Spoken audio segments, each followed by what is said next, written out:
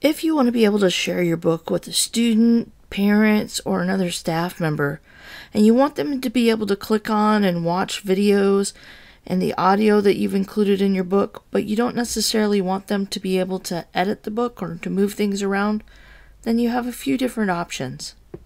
First of all, you can tap on the share icon underneath the book there in your bookshelf, and you can export it as an EPUB.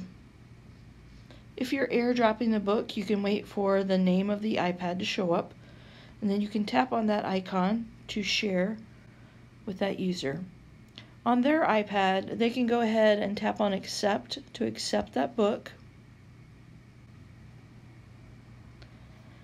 And then again, if they're not going to edit the book or write in it, but you do have videos or audio in your book that you want them to be able to play, they can go ahead and tap on iBooks to open it up in iBooks.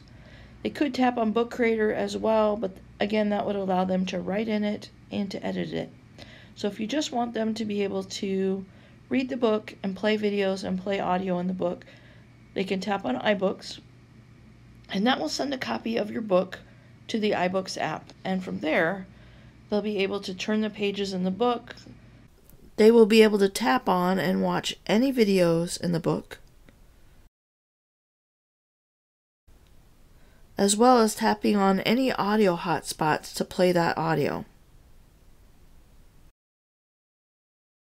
In addition to allowing others to read your books that you create with Book Creator, the iBooks library is also a great way to store and organize your books that you've created with the Book Creator app.